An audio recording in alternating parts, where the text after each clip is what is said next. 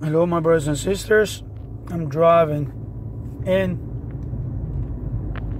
the other thing about this, this video that I'm going to make to you guys, is that God, right now, He's actually leading me right now to make this video for you guys. And this is my second dream of uh, of the dream. Uh, my first dream that I had about the countdown dream. This is my second dream.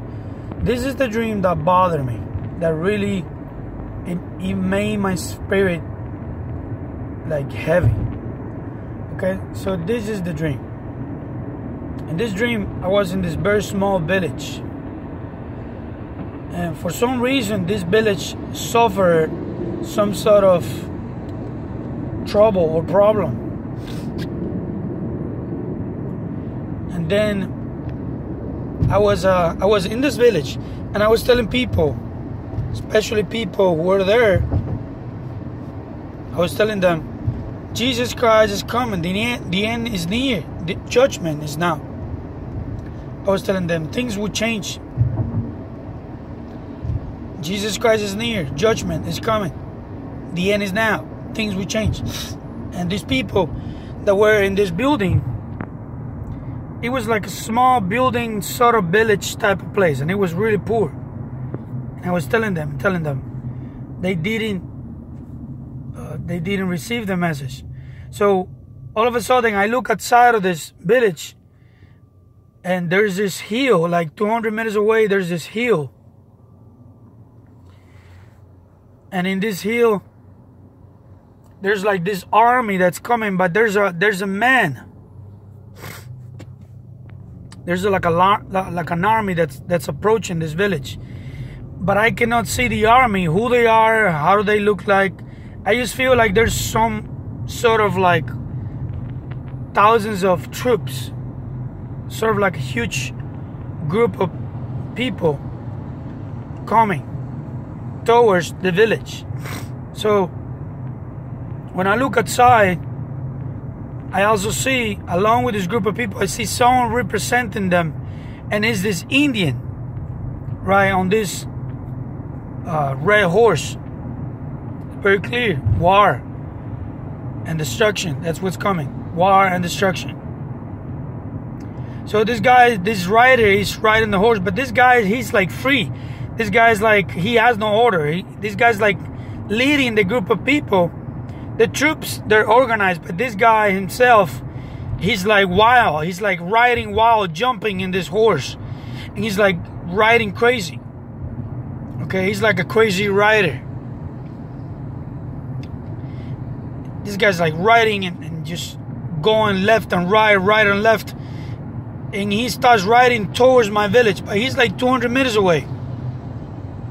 So I come back to the village, and when I look to the when I look back to the look how crazy this is. I'll show you guys. Look at this car right here. The back of this car is 111 Father, Son, Holy Spirit. As I'm making this video, this car's tag in front of me is 111. Check that out. That's how crazy God is. Hallelujah. That's how crazy. Wow. Hallelujah. All right.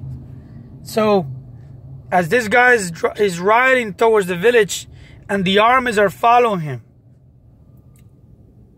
There's a policeman here. I gotta lower my phone.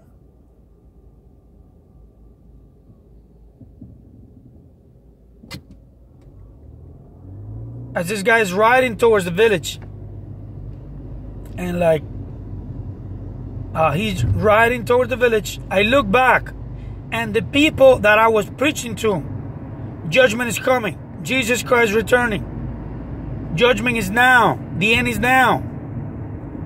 There's no time left. These people were all dead on the ground. All of them. They were black, white, blonde people, Asian, um, um, Latino, all of these people that were down on the ground, they were dead already. And I looked in the back. I went to the back of this section of the village to a place that I was staying in this village, in this place. I was staying there with my family, like me and my mom. we were there. And when I went to her, I, I said to her, quickly, right? We need to get ready.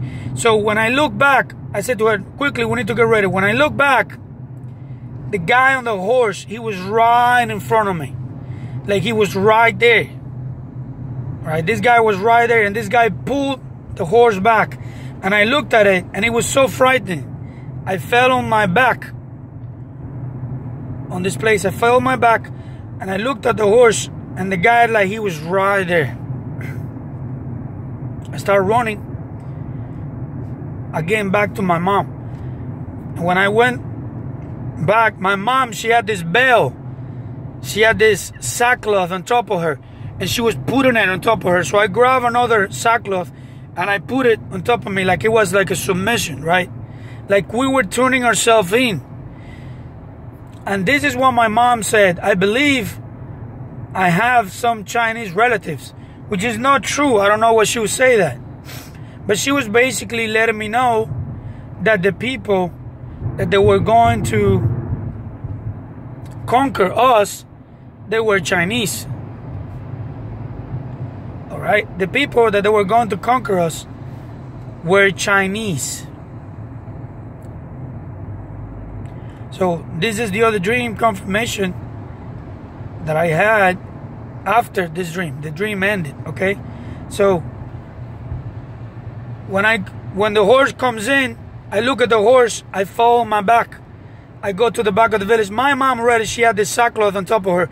I grab another sackcloth and I place it on top of me. And she was like, maybe I have some Chinese relatives. Now, as soon as the, this dream ends, the other picture is me on this labor camp with these rocks on my back. And I was carrying them on this place and we were like picking and mining rocks and stuff. And I was like in labor. I was doing, I was like doing labor for these people. I was like some a like slave. And I was taken into captivity. Right? So he was the Chinese. They actually came after something happened and they conquer us and basically they took us captive and I had to work for them. Right? I had to work for them, my friends. So the dream ended. I was so disturbed by this dream because it was so real and it was like so heavy my spirit that I didn't want to share it. You know, maybe I was like talking to God, Lord, did I sin? Did I do something wrong? You know? But the dream, the whole dream is just disturbed me. Okay, so I had another dream that I was in this uh, this university and all of a sudden there's this big thick dark clouds coming in from the north and they were like lining a lot of lining and there were these planes. These these planes were chinese planes and these people uh, these these students they were screaming and yelling and they were like we're being attacked something's happened. We're being attacked right? So my own girlfriend recently she has a dream that we were we were oh, in this place. We were like prisoners and we were in separate cages. And like they chinese had taken us captive. So that's how insane it is. I want to tell you guys something how god judges nation if you read uh, jeremiah chapter 51 you're going to see the judgment of this nation this nation, I believe, I strongly believe, is going to be judged. But since there's a lot of righteous people, this, God is going to allow the enemy to conquer this nation, and He's going to allow many of us, I believe, to be taken into captivity. If you read Daniel, he says that many will be whitened. Many will be made white. You see? The wickedly the wicked, the wicked shall do wickedly, the righteous will do more righteous, more righteously. They will become more righteous. And that's done by the sifting and God's gonna whiten out. Right? But how God judges a nation in the Bible, He grows up the enemy of the nation, He grows them, and then He brings them back and to the nation when the nation lives Him. And He just destroys them, and He gathers a remnant of His people and He takes them. You know, He lets the the conquering nation, He takes he lets the he lets the conquering nation take his own people away. And he lets them be kept alive. So in this dream she had a dream that we were in different cages and and the cages were filled, I believe, with people. And we were separated. And we were being taken away. Captive. As like prisoners. So take this dream to the Lord. I'm not to draw extreme conclusions. I believe this nation, the United States, will be attacked. This nation will be no more. The Chinese will come in. They will storm in. They will take people captive. And this nation just will be no more. Read Jeremiah chapter 51. You'll be scared for what it says. This nation is great Babylon, mother of harlots and abominations of the world. This is the nation. The United States is great Babylon.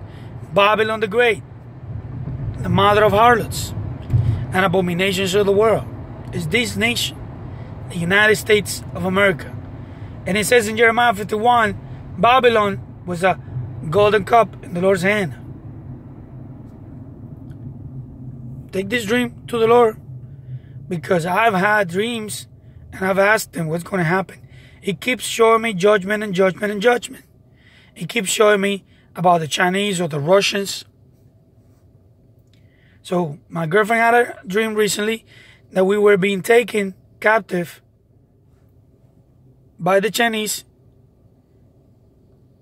and we were in different cages. God bless you guys.